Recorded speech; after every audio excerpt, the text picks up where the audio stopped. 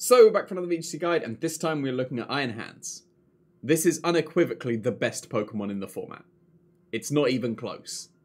This thing has ridiculous bulk, while still being amazingly offensive.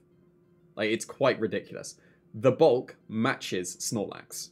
Like, it's within like a couple of points difference from Snorlax, and Snorlax has got to be one of the bulkiest Pokemon there is. So the fact that it matches that and can do a very similar thing as Snorlax of, what that wanted to do previously in Belly Drum is very, very good.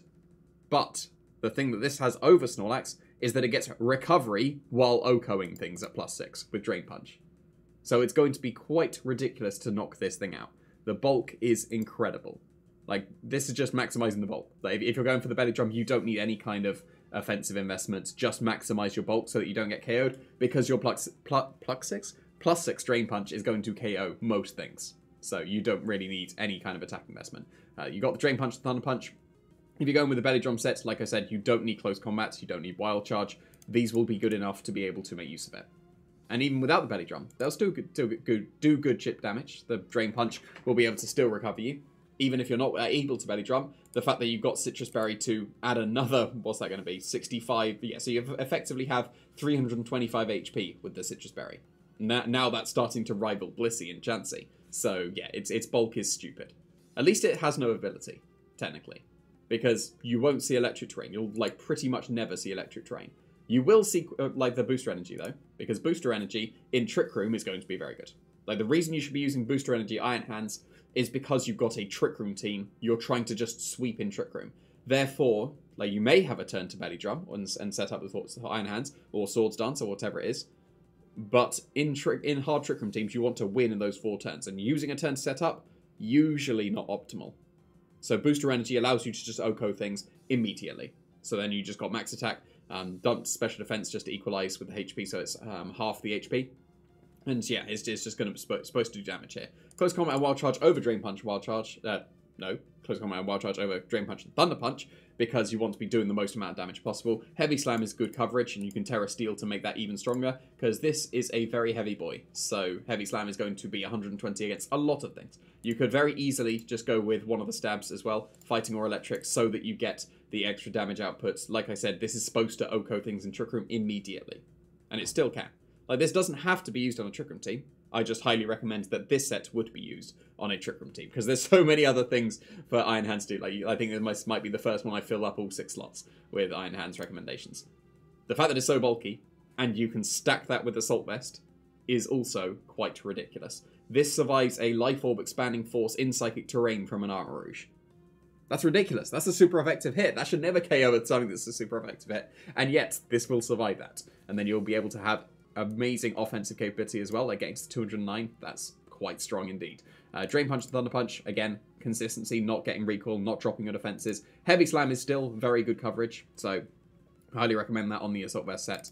Uh, so yeah, you're going to be able to sponge a lot of hits, recover back with the Drain Punches, you'll be sorted. Uh, I'll mention the speed as well. Like this speed, like just with 4, still under speeds Min Speed Armarouge.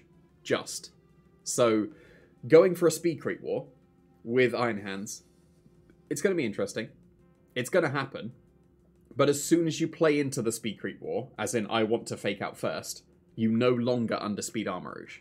And then that becomes potentially awkward. Like, it'll be team dependent whether that's an issue, but just know that if you do opt into the Speed Creep War of Iron Hands, you immediately lose out on underspeeding Armarouge. So then it, like, well, this Assault Vest set can survive the expanding force, but being able to underspeed might be nice and worth considering. But Speed Creep War definitely will happen as well. Uh, these are this is not a recommended move set on the on the Assault Vest. This is just other moves that could be good on Iron Hands uh, over one of these moves. Definitely have Fake Out, like absolutely have Fake Out, and then change Close Combat to Drain Punch, Wild Charge to Thunder Punch if you really need the extra damage, and also Volt Switch will fit very well in the Assault Vest as well especially if you um, don't play into the speed creep war.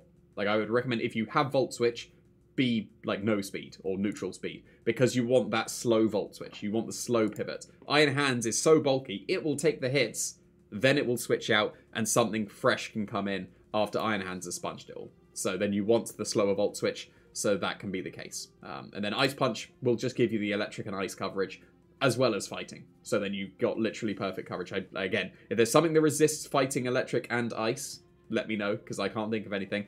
But um, yeah, that's also very good coverage over Heavy Slam. I would have Ice Punch over Heavy Slam rather than one of these. But yeah, very, very good moves to be able to have. Uh, put Grass as the Tera typing on most of these because um, it'll make you immune to spores, which could slow you down from the Amoonguss, especially because you don't hit Amoonguss super effectively with either of your stabs. So being able to ignore it may, means that that's not an issue, because then you just always attack the partner. You're immune to the spores, you're immune to the rage powders, so yeah, Tera Grass is going to be quite nice. It's not the best defensively, like it's good for electric, but the main thing would be to ignore Amoonguss as well.